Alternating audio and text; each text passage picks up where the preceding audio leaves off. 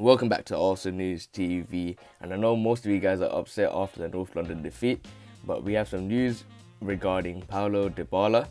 So before we get into the video, I have four things for you guys to do right now. Number one, click the subscribe button for more daily videos. Number two, make sure you guys turn on the post notification bell so that I send you notifications as soon as I upload. Number three, make sure you guys click the like button if you like the video. And number four, make sure you guys share this to your Arsenal friends and family so that they know what the most hottest news are at the moment.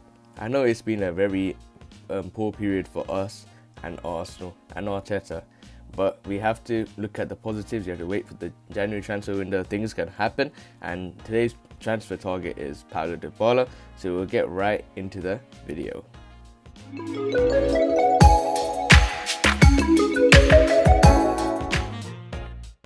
So the headline today is Paulo Dybala offered to Manchester United, Arsenal and Chelsea as Juventus star opens door to Premier League transfer. So what the reports are stating is that Juventus star Paulo Dybala is reportedly considering his future in Turin after being offered to a number of Premier League clubs. The 27-year-old, who's tied down at the club until 2022, has featured in just six Serie A matches this season.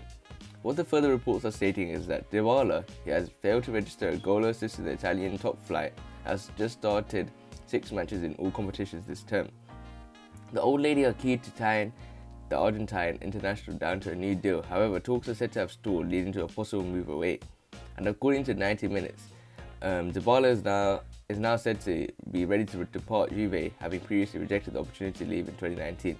They claim that the, that the forward has been offered to the Premier League's Big Six by his representatives. Manchester United and City, as well as Liverpool, Chelsea, Arsenal, and Tottenham, have all been alerted as a possibility of a move for Dybala. However, due to his reluctance to leave the club, last year, English sides will only look to sign him should the player himself uh, signal his intentions to go. He has also claimed that Paris Saint-Germain are, key, are keen on prizing Dybala away from Juventus, and it is understood that Real Madrid are also an option for Dybala with Zinedine Zidane a huge admirer. Dybala was um, slammed by the Italian media over the weekend following his performance in the 2-1 win against Torino. According to Tuttomercato Web, the ex-Palermo ace was slow and useless, and as he was once again failed to prove his worth to Andrea Pirlo. He was given just a 5.5 out of 10 by the news outlet, while La Gazzetta dello Sport awarded him a shocking 4.5. So this is the reports regarding Juventus and Arsenal target Paulo Dybala. So as we can see, the big six teams have been offered by Juventus to sign um, Paulo Dybala, and we can see that he's on a contract until 2022. So literally next so, uh, next Jan not the next January transfer window, but the one after, he can go to any club on a free. But if you look at his um, current form, he looks like he's not even scored a goal or assist, which is not something Arsenal need at the moment with the lack of goals and um, in the club with so many crosses, with so many um, percent possession of the ball we can't seem to score a goal. So someone like Dybala, who's in bad form at the moment, um, isn't something someone that Arsenal should need at the moment. However, as we all know, Dybala is an extraordinary player. He's been playing in the top league and the, in the top position. He's won so many things at Juventus, but can he really perform it on the big stage in the Premier League? In my opinion, to be honest, Premier League is way better than any other leagues. In my opinion, all the teams have a um, huge um, uh, responsibility to try and remain in the league, and anyone is a very difficult opponent at any time, and you don't know what will happen.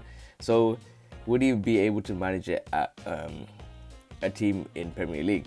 However, it looks like the big six have all have are having a look in at at Dybala, and if you look at it right now, the big six are in the top six at the moment, and um, apart from Arsenal, who's in sitting at 15th position after the loss to Tottenham. So would he actually move to Arsenal? I think there's a possibility he may even move to North London rivals um, Tottenham as they're top of the league. And also, this has shown um, that his last performance was very shocking, and he just doesn't seem to fit into um, Andrea Pirlo's system. So for me, do you sign um, Paulo Dybala? If you asked me this a year ago, I probably would have said yes, um, 100%. But now thinking about it with this current form, I don't think we should buy another player that's not on current form. That's good. So for me, Paulo Dybala doesn't fit the bill at the moment. We should get the likes of Dominik Szoboszlai or Houssem Aouar, who's actually performing at the world. We don't want someone that's edging towards the end of their career. And other than that, remain.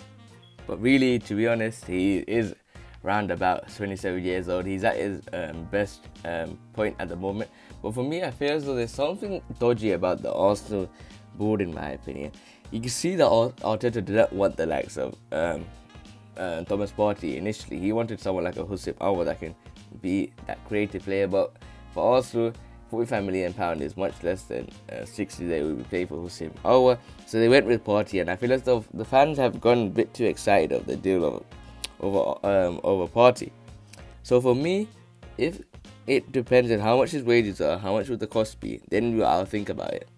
But for me, he has to perform on, in the Premier League. If he doesn't perform and he becomes like a Cavani or something, then it's very bad for the team. So other than that, guys, this is my views regarding Paulo Dybala and remain blessed and peace.